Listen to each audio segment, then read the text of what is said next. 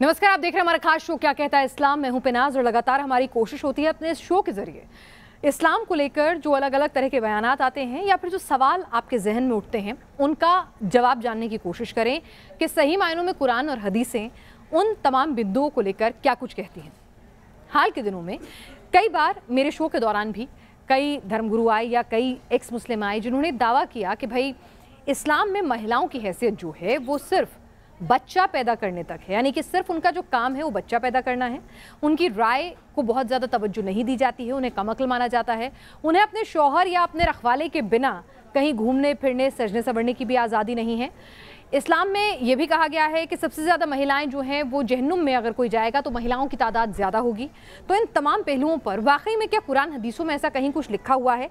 या फिर ये गलत भावनाएँ हैं जो इस्लाम को लेकर फैलाई जा रही हैं? इस पर चर्चा करने के लिए हमारे साथ इस वक्त सोशल एक्टिविस्ट और इस्लाम की जानकार हमारे साथ इस वक्त जुड़ रही हैं महलीज सरकारी और जिबा खान। आप दोनों का बहुत बहुत स्वागत है। महलीज सबसे पहले मैं आपसे जानना चाहूँगी वेलकम टू द शो कई बार आ, कहा जाता है कि इस्लाम में महिलाओं को वो दर्जा नहीं है जो पुरुषों को है उन्हें कमतर माना गया है। और उनकी जो ज़रूरत है वो सिर्फ़ और सिर्फ़ बच्चा पैदा करने तक है इस्लाम की नज़र में। क्या ऐसा है? Uh, ji thank you so much for having me on the show आपने सही बोला है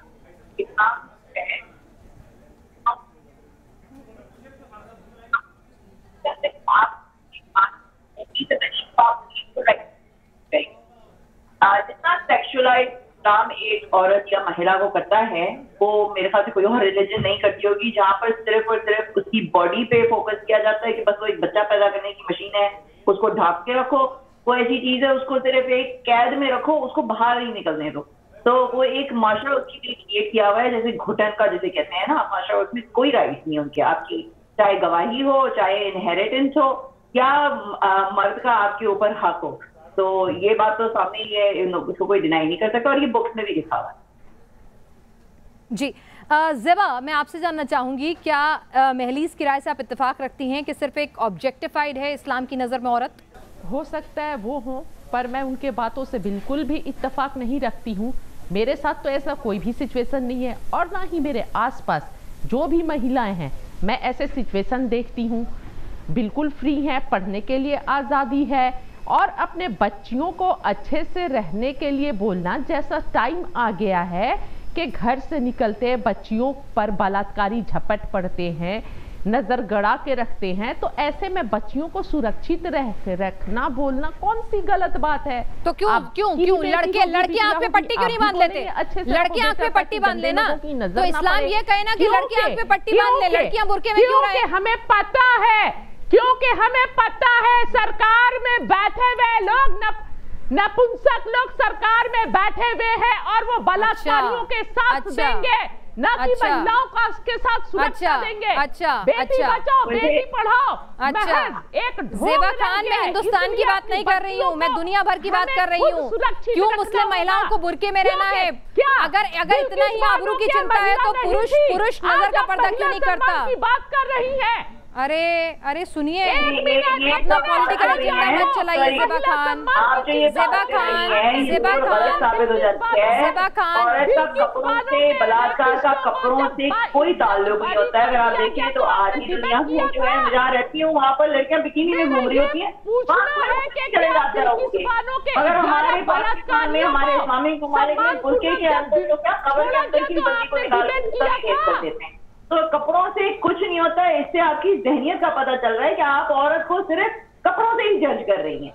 You know we are not only limited to our clothes अगर आपको हमें हकूक जेबा खान तमीज से जेबा खान तमीज से क्या आपको पैसे मिले जेबा खान तमीज से।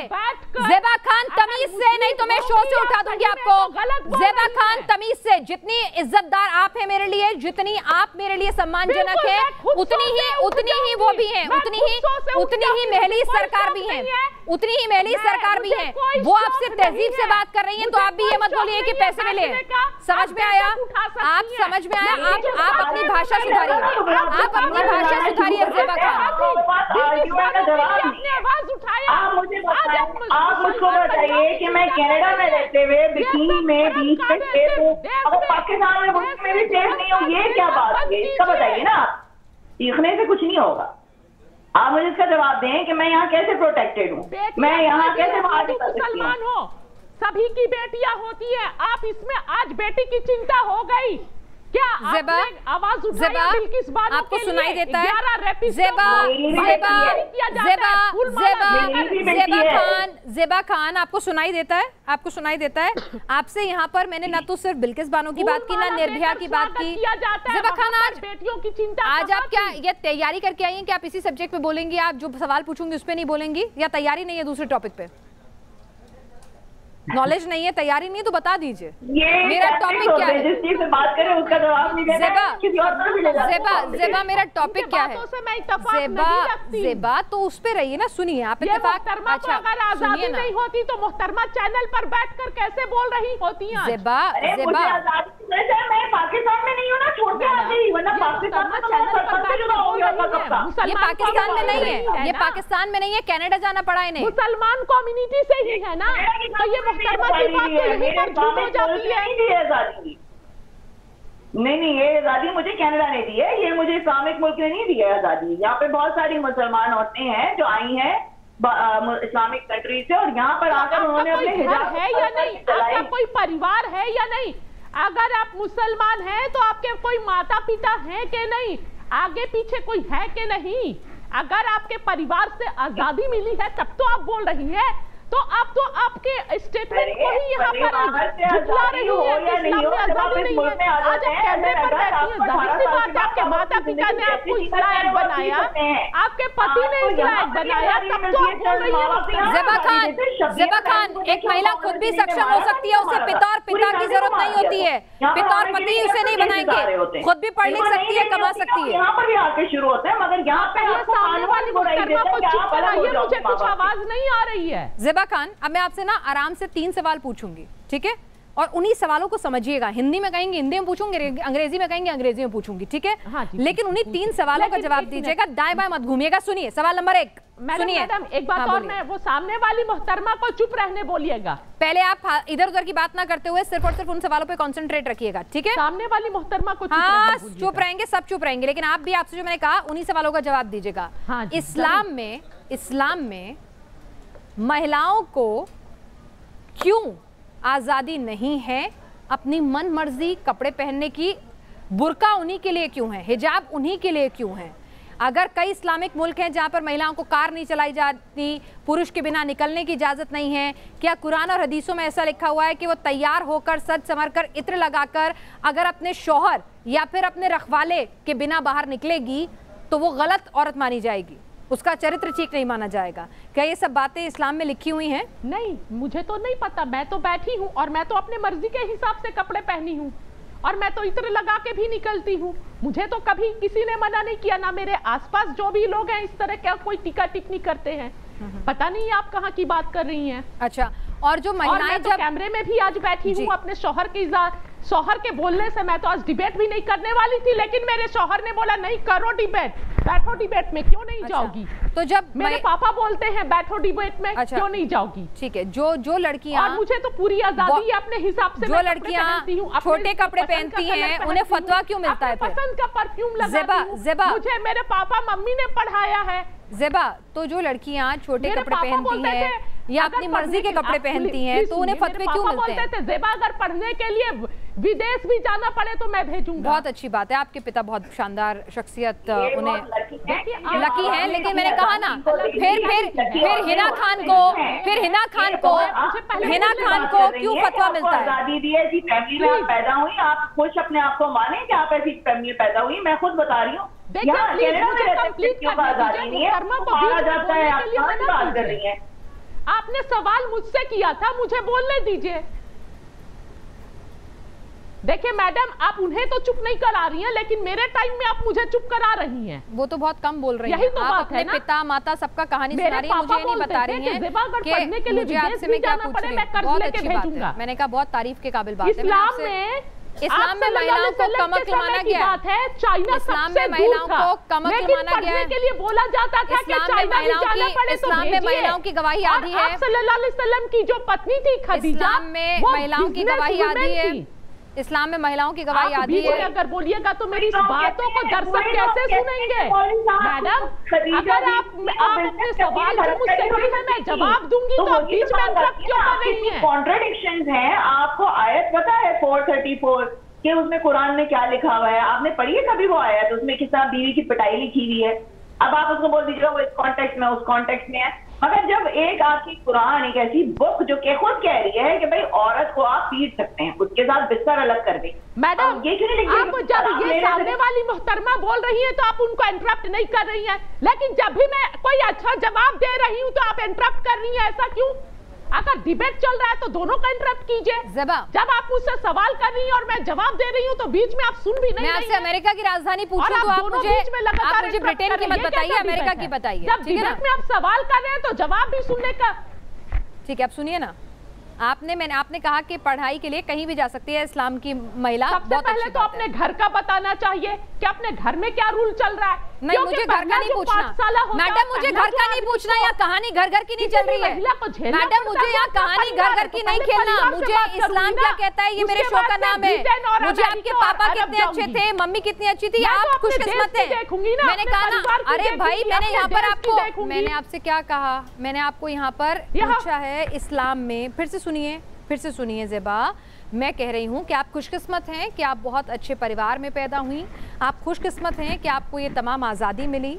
मैं इस्लाम के लिहाज से आपसे समझना और पूछना चाह रही हूँ जो बात महली सरकार कह रही हैं कि इस्लाम में महिलाओं को पीटने मारने की इजाज़त है शोहर अपनी बीवी को पीट सकता है।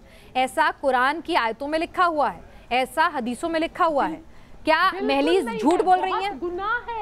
अच्छा। नहीं गलत है। अच्छा। जिसने भी बताया ये गलत इंटरप्रेट है। बहुत गलत है और गुनाह है। इस्लाम में आप डॉक्टर हमारे नबी ने बोला था औरतों को बहुत प्लीज़ मैं आपको बीवी को बहुत करूँगी प्यार आयत से भी बता रही हूँ इज़्ज़त से रखो। डॉक्टर भी बता रही हूँ फोर थर्टी फोर जाके प्लीज़ पढ़े उसमें क्या लिखा है आपकी शायद आँखें खुल जाएँगी। ज़्यादातर औरतों को औरतों को ये नहीं पता कि लिखा है एजेंडे को लिए आप हैं एजेंडे के लिए आप बैठी हैं गलत इंटरप्रेट मत कीजिए। हमारे नबी ने कभी नहीं बोला औरतों को मारिए। हैं उनकी बेटियों को मारिए। और जो बहुत अच्छी औरतें और होती हैं प्यार वो से बीवी को रखने के लिए बोला है। और सास ससुराल में भी और जो बीवियों उनकी पे बात नहीं सुनती जुल्म है करने के उनको लिए पहले मना किया गया समझाओ है। अगर वो ना जेबा जेबा जेबा जेबा जेबा जेबा आपके पास कुरान है? आपके पास ठीक है मोबाइल आपके पास मोबाइल है कुरान और हदीस है वो गूगल करने को कह रही हूँ। कौन सी आयत बताई आपने महलीज? एक बार फिर से दोहरा देंगी प्लीज़। आयत 434 सूरह निसा। सूर्य निसा की आयत 434 खोल लीजिए और आपको पता चल जाएगा कि लिखा है ठीक है? इतने में महलीज से एक सवाल कर रही हूँ उतने आप एक बार गूगल कर लीजिए ठीक है? महलीज मुझे एक बात बताइए। पता करना उनके बोलने से। मैं जो पढ़ी हूँ मैं जानती हूँ। तो चलिए आप अपना बता दीजिए आपने क्या पढ़ा है? मुझे आयत का हवाला दे दीजिए। बीच में बोल रही नहीं कोई मोहतरमा बीच में नहीं बोलेंगी ना मैं मोहतरमा बीच में बोलूँगी ना वो बोलेंगी आप मुझे जो आप कह रही है की नहीं लिखा है। अरे एक सेकेंड दोनों सुनने को राज़ी होंगे तब तो मैं बताऊँगी ना मैडम। जेबा। आप सीधी जो सवाल पूछा है आप इस्लाम को गलत तरह से नहीं बिल्कुल नहीं। मैं कौन होती हूँ? मुझे तो मालूम ही नहीं है इस्लाम के बारे में। बातें आप जेबा, आप सुन नहीं एजेंडे पर बैठी है तो। जेबा। अगर एजेंडे को फिक्स करके नहीं बैठी है डिबेट पर बैठी है तो मुझे भी अरे आप कुरान तो पढ़ बातें कर रही हैं एजेंडा ये वो। आप सीधा जाके गूगल करें मुझे बताएँ कि लिखी है कि नहीं लिखी है आयत बताइए जाके। गूगल करके बताएँ पहले तर्जुमा करके पढ़ें यहाँ पर। आपने कुरान नहीं पढ़ी क्या जेबा? तो नहीं है। हम वो मैडम को बोलिए जरा तर्जुमा करके पढ़ दे और मतलब बता दे। मैंने बहुत अच्छे से पढ़ी है इसलिए मैं बता तो रही आप भी हूँ। पढ़ लीजिए ना, आप पढ़ कर दिया जाता था। लेकिन जब इस्लाम आया उरूज में तो बच्चियों को और महिलाओं को मान सम्मान मिला। और कोई नहीं नहीं ये बात अभी गलत है। कोई बच्चियों को नहीं मारा जाता था शायद चंद लड़कियों को मारा जाता था। परिवार को सारी औरतों को मारा जा रहा था तो खदीजा भी कहाँ से आ गई रसूल सल्लल्लाहु अलैहि वसल्लम कहाँ से पैदा हो गए? ये सारी मर्द कहाँ से पैदा हो गए सारी औरतों को मारा जा रहा था। दूसरी बात कि जब महिला को उनके हस्बैंड की डेथ है तो उनको इनहेरिटेंस पूरी तो इस्लाम ने नहीं दिए थे ये हकूक। इस्लाम ने आके एक्चुअली औरतों के हकूक छीने। परिवार में ऐसा होता मैंने परिवार ऐसा नहीं देखा ज़ेबा ज़ेबा आपने कोई भी परिवार ऐसा नहीं देखा तो जो फतवे आते हैं हिना खान को जो फतवे दिए जाते हैं कई मुस्लिम नहीं आप वो मोहतरमा को पूरा कम बोलने दीजिए मैं एक चुपचाप सुनती सेकंड हूँ। एक सेकंड सुनिए ना जिबा आराम से बात कर रहे हैं जो भी कोई चीख- फतवा देता है वो गलत फतवा देता जेबा है कोई चीख चिल्ला नहीं रहा है। ये मानसिक सुनिए एक मिनट मानसिक रोगी लोग फतवा देते हैं महिलाओं को। एक मिनट एक मिनट। क्या इस्लाम में महिलाओं की गवाही आधी मानी गई है? हाँ या नहीं?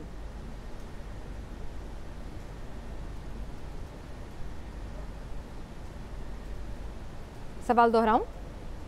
क्या इस्लाम में महिलाओं की गवाही आधी मानी गई है? हाँ या नहीं? क्या इस्लाम में महिलाओं को कमअक्ल माना गया है? हाँ या नहीं? क्या इस्लाम में महिलाओं को अपने शौहर के बगैर सजने संवरने की इजाज़त है? हाँ या नहीं? तीन सवाल हैं, तीनों के जवाब दे दीजिए। इस्लाम में बच्चे की पहली तरबियत बोला जाता है, माँ के गोद में होती है और सबसे अच्छी तरबियत वही होती है जो माँ तरबियत देती है बच्चों को।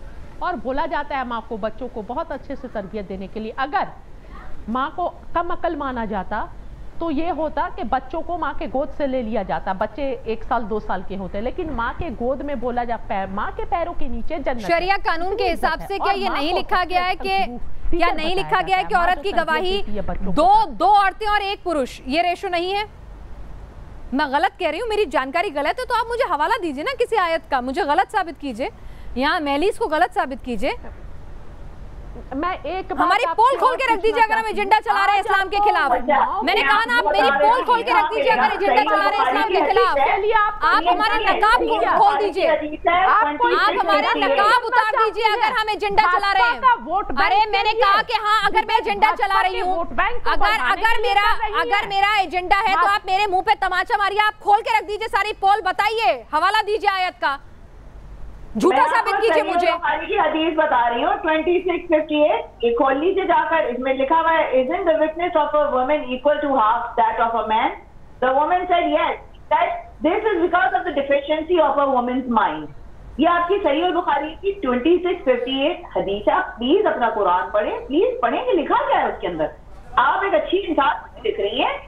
जिन्होंने, आप एक अच्छी माहौल में पैदा हुई हैं, आप लकी हैं कि आपको ऐसे जो है कट्टर लोग नहीं मिले, जहाँ आपकी लाइफ जो जहन्नुम बना के रखी जाती। तो प्लीज़ आप थोड़ा सा कुरान पढ़िए, फिर आपको पता चलेगा, माँ के पैर के नीचे जन्नत है तो उसी माँ को फिर मियाँ जो है, मार भी सकता है, ये भी लिखा हुआ है। तो ये कॉन्ट्रोडिक्ट कुरान में बहुत सारी कॉन्ट्रोडिक्शन है, इस तरह की दी हुई हैं। ये आपने जो बातें की ना कि पहले औरतों को ज़िंदा दफन कर दिया जाता था, उनको जायदाद नहीं मिलती थी। आर ऑल मन कहानियाँ हैं, वो ऐसी कोई चीज़ नहीं थी उसका जेबा, मेरे एजेंडे की पोल खोलिए, महलीस के झूठ की पोल खोलिए और बताइए हमें आयत का, हदीसों का हवाला देकर कि हम झूठ बोल रहे हैं। ये गलत जानकारी है, क्योंकि मैं चाहती हूँ कि ये झूठ खुले। आप जैसे कई लोग जिनको ये लगता है कि ये एजेंडा चल रहा है, उनको समझ में आए कि हम क्या क्या रहे हैं। मेरा यहाँ पर कोशिश आप तो मानेंगे नहीं लेकिन यहाँ पर कोशिश सिर्फ़ और सिर्फ़ सही जानकारी देने की है वो भी इस्लाम के जानकारों की मार्फत। यहाँ मैं कुछ नहीं बोल रही हूँ। महली से पूछती हूँ आपसे पूछती हूँ। महली से, आवाज़ नहीं आ रही शायद जबा को। जबा आवाज़ आ रही है? मुझे आपकी आवाज़ आ रही है।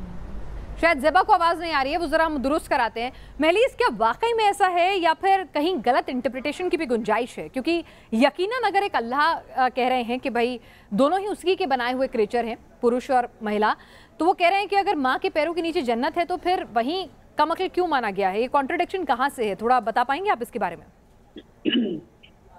कॉन्ट्रोडिक्शन तो बहुत सारी हैं। मैं वही तो आपसे कह रही हूँ ना कि जब आप कुरान पढ़ते हैं तो तभी तो आपको लगता है कि भाई, अगर मुझको इक्वली बनाया, मगर हमको इक्वली नहीं बनाया ना, हमको आदम की पसली से बनाया। तो we owe to the man मतलब के हम वो हैं कि भाई, हमको बना दिया यू नो अल्लाह मियाँ जो है थोड़ी सी मिट्टी और लेकर आ सकते थे और वो एक औरत भी बना सकते थे। हमको बनाया ही नहीं ना इक्वल वहाँ पर। तो फिर हमको इक्वल चीज़ें कैसे मिलती? जो कॉन्टेक्स्ट है, ये हमेशा बात यही करते हैं कि जब भी आप इनके सामने कोई आयत रखेंगे या हदीस रखेंगे तो सबसे पहले बात होती है कॉन्टेक्स्ट की। अब ये जो फोर थर्टी फोर मैंने आपको बताया है, जिसमें मारने का वो लिखा हुआ है तो इसमें लोग आके कहते हैं, आप सही कॉन्टेक्स्ट में नहीं पढ़ रही हैं, और वो लास्ट रिजोर्ट है। अरे भाई लास्ट रिजोर्ट तलाक क्यों नहीं है? मारना किसी पे हाथ उठाना ठीक नहीं चाहे वो मर्द हो या औरत हो। वो कॉन्टेक्ट ये देते हैं कि नहीं, देखिए, आपने जो है उनको हल्के से मारना है, आपने एक मसवाक से मारना है आपने उनके मुँह पे नहीं मारना है। उनका खून नहीं निकलना चाहिए हड्डियाँ नहीं टूटनी चाहिए और ब्रूजेस नहीं आने चाहिए। यानी ऐसे कौन गुस्से में आएगा जो जाके यूँ करके जाएगा यूँ करके थप्पड़ मारेगा बड़े प्यार ये तो बात हो ही नहीं सकती ना। तो ये इसी तरह से कॉन्टेक्स्ट कॉन्टेक्स्ट की बातें करते रहते हैं मगर it is in black and white जेबा मैंने गूगल किया है मुझे नहीं पता है और आप भी कर लीजिए। जो सूर्य निसा की आयत नंबर चौंतीस है उसमें ये सब बातें ये कह रही है महली सरकारी लिखी हुई हैं। कि पहले प्यार से समझाओ, नहीं माने तो बिस्तर अलग कर लो, नहीं माने तो हल्के से मारो, जिस इतना मारो कि हड्डी ना टूटे खून ना निकले। तो यानी कि कहीं ना कहीं मारने को सही ठहराया गया है ना। लगता है जेबा तक बात नहीं पहुँच रही जेबा, दोबारा हम फ़ोन काट के मिलवाते हैं। महली, ज़रा ये बताइए कि यहाँ पर मेरे पैनलिस्ट जो हैं, जो हमारे पीसीआर टीम में मेरे मित्र हैं, वो खुद इस्लाम को जानते हैं। वो मानते हैं कि हाँ ठीक है, कम अक्ल वाली बात जो है और जो आधी गवाही की बात है, वो लिखी हुई है। कुरान हदीसों में। लेकिन साथ ही वो ये भी कहते हैं कि भाई ये जो आप बात कह रही हैं मारने की उसकी इजाज़त कुरान नहीं देता है। नहीं देता है? ये लिखा है। ये ये आप जाके 434 में देख लें। और उसका अरेबिक वर्ड भी है। अ, मैं आपको उसका भी बता देती हूँ उसमें एक स्पेसिफिक वर्ड यूज़ किया गया है जिसको वाकई में कहते हैं मारना। पहले जो इंग्लिश की ट्रांसलेशन होती थी उसमें कहीं कहीं पहले स्ट्राइक आता था। अब इन लोगों ने वर्ड चेंज कर दी क्योंकि हम लोगों ने बड़ी उधम मचाई है इस आयत को लेकर। तो अब उसमें डिसिप्लिन लिख दिया है और फिर अब ब्रैकेट में लिख देते हैं लाइटली तो ये आपके सामने है it's not we are not making it up आप खुद अपने कुरान में पढ़ें ये चीज़ लिखी हुई है। It is not we are not making it up या तो इन्होंने कुरान पढ़ा नहीं है या तर्जुमे के साथ नहीं पढ़ा अच्छा। क्योंकि हम लोगों की सबकी फ़र्स्ट लैंग्वेज अरबिक थोड़ी है। हमको उर्दू में अपनी जो भी लैंग्वेज है उसमें पढ़ना चाहिए। लेकिन इस्लाम में ये भी लिखा है कि औरत के साथ नाइंसाफ़ी कभी नहीं करनी है वो गुनाह है। मैंने तो नहीं देखा, कहाँ ये लिखा है, ना इंसाफी और अगर लिखा भी होगा तो शायद लिखा होगा। कुरान में ये भी लिखा है कि भाई, एक बंदे की जान लेना चाहे पूरी इंसानियत की जान लेने के बराबर है, फिर कहा है कि यहूदियों को मारो यहाँ तक के पेड़ या जो पत्थर है, वो गवाही देगा कि देखो यहूदी मेरे पीछे खड़ा हुआ है, उसको आके मारो। तो बात ये हो रही है ना कि कॉन्ट्रडिक्शन बहुत सारी हैं। पहले जो हदीसें लिखी गई थी वो जो जब इस्लाम अपने ज़ोर पे नहीं था तो उनमें आपको दिखेगा कि उनमें बहुत प्यार है मोहब्बत है। और जैसे जैसे आगे आप देखेंगी तो हदीसें और वायलेंट होती जाती है और उसमें गुस्सा दिख रहा है आपको। And then it just went all over the place जब इस्लाम अपने उरूज पे आ गया था। अगर हम बात करें निकाह की एक पति पत्नी के रिश्ते की तो एक शोहर और बीवी का रिश्ता क्या बताया गया है? बीवी को क्या जगह दी गई है? बराबरी की जगह दी गई है अपने शोहर से कम जगह दी गई है या सिर्फ़ उसको या सिर्फ़ उसको सिर्फ़ बच्चे पैदा करने के लिए बीवी है। हाँ नहीं ये कहा गया है कि आपके हस्बैंड को आपका ख्याल रखना है मगर आपको अपने हस्बैंड की हर चीज़ हर बात मान you have to listen to him यानी एक तरह से आप उनके गुलाम ही हो। वट एवर योर हस्बैंड से क्योंकि वो कमा के ला रहा है वो ब्रेड विनर है तो उसकी आपसे हर बात चाहे वो कुछ भी हो। इसमें एक्चुअली एक्चुअली इसमें एक जगह लिखा हुआ है कि आप अपने जब आपका मर्द आपके पास आता है और वो कहता है कि हमने हम बिस्तरी करनी है वट तो और यानी अगर आप बच्चा भी पैदा कर रही हैं, ऊँट के ऊपर आई गेस ये ट्रेडिशन हुआ करती थी बैक इन द डे कि आप अगर बच्चा भी पैदा कर रही हैं ऊँट के ऊपर और मर्द आपका कहता है कि नहीं, मुझे अभी जो है आई वांट राइट नाउ तो उस वक्त वो मना नहीं कर सकती है। आपको उसी वक्त you have to give it to him और अगर आप मना करती हैं तो फिर आपके ऊपर सारी रात जो है फरिश्ते लानत भेजेंगे ये चीज़ें लिखी नहीं है। ऐसा है क्या? फ़िज़िकल इंटीमेसी के लिए अपनी चाहत नहीं है महिला की? उसे सिर्फ़ गुलाम की तरह से अपने शोहर की बात माननी है? और अगर वो नहीं मानेगी तो पूरी रात फरिश्ते लानत भेजेंगे उस पर? जबा। जबा आप सुन पा रही हैं मुझे? जब आप सुन नहीं पा रही हैं, क्योंकि हमारे यहाँ से तो सब लोग कह रहे हैं कि आपको आवाज़ पूरी जा रही है। टेक्निकल चेक में आपने हामी भी भरी कि आपको आवाज़ आ रही है आप सुनना नहीं चाह रही हैं। चलिए, जेबा से बात नहीं हो पा रही है। मेरी जेबा से बात नहीं हो पा रही है तो इसीलिए जेबा, आप से बात नहीं हो पा रही है तो क्या मैं शो ख़त्म कर दूँ? आप अपनी कोई बात नहीं रखना चाहेंगी यहाँ? मैं एक बार फिर आपसे पूछ रही हूँ। क्योंकि एक तरफा शो मैं कंडक्ट नहीं करूँगी। लगता है ज़ेबा से बात नहीं हो पा रही है। महलीज आ, क्योंकि ज़ेबा से बात नहीं हो पा रही और मैं नहीं चाहती हूँ किसी भी तरह से कोई एक तरफा बात कोई एक तरफा राय शुमारी जो है वो दर्शकों के बीच जाए क्योंकि उन्हें पूरा हक है इस्लाम की अच्छाई या इस्लाम की अगर कोई चीज़ जिसको क्रिटिसाइज किया जा रहा है या कोई एक पक्ष उसको लेकर अलग विचारधारा रखता है इंटरप्रिटेशन रखता है तो दोनों चीज़ें सामने आए ताकि इस्लाम को मानने वाले या इस्लाम के को लेकर समझ रखने वाले या जानकारी हासिल करने वाले लोग जो हैं, वो सही राय अपना सकें। इसलिए हम कह रहे हैं कि यहाँ पर पैनल पर आए हुए विचार, इन लोगों के अपने निजी विचार थे, इनकी अपनी इंटरप्रिटेशन थी कुरान और हदीसों की, अपने एक्सपीरियंसेस थे। आप जब भी कोई राय बनाएँ तो खुद कुरान, हदीसें पढ़ें, इस्लाम के जानकारों से अलग अलग इंटरप्रिटेशन समझें और फिर कोई राय कायम करें। इस शो के ज़रिए हमारा किसी भी धर्म विशेष को सम्मान को ठेस पहुंचाना मकसद कतई नहीं है। सिर्फ़ और सिर्फ़ हम जो असलियत है या फिर जो विरोधाभासी बयान है, उनको लेकर क्या कुछ सोच रखते हैं इस्लाम के जानकार, ये आपके सम्मुख रखते हैं। आज के लिए बस इतना ही।